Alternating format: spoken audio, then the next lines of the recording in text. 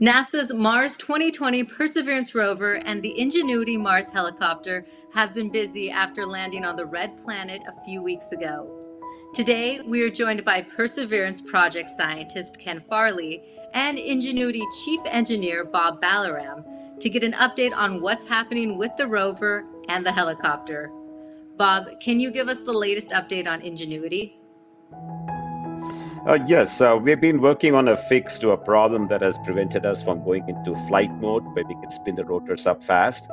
We have both a long term fix that's making its way to the spacecraft, as well as some workarounds that we sent on Thursday, and we just got the results on Friday, and we'll be analyzing those results to see, you know, what the high speed spin looked like, and that should let us uh, get back on track with our rest of our flight experiments.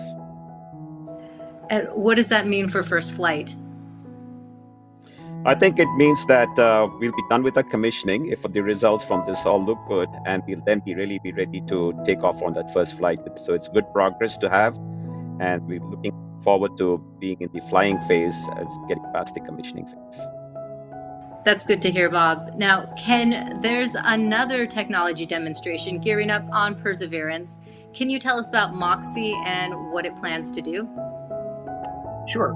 Uh, MOXIE is part of Perseverance's technology demonstration payload, uh, as is the helicopter.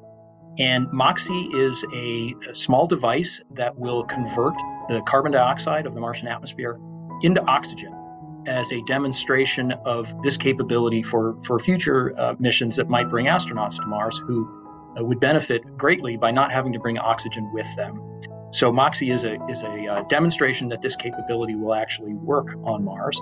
And we're very excited as, as part of the early parts of this mission to be testing out our, our new technologies. And we expect that uh, the first run of the, of the MOXIE investigation will uh, be within the next couple of weeks. Great. And what science has Perseverance been working on over the last week or so?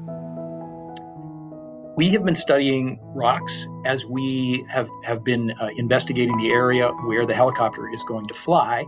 And as we drove out to our observation point, where we can watch the helicopter at a safe distance, we've been exploring the rocks that are up close to the rover, trying to understand whether they are uh, uh, volcanic rocks uh, or sedimentary rocks. Were they produced by a volcano uh, or were they uh, uh, deposited by water? Thank you. Thank you, Ken, and thank you, Bob. To get the latest, follow at NASA JPL and at NASA Persevere on social media for the latest updates. Thanks for watching.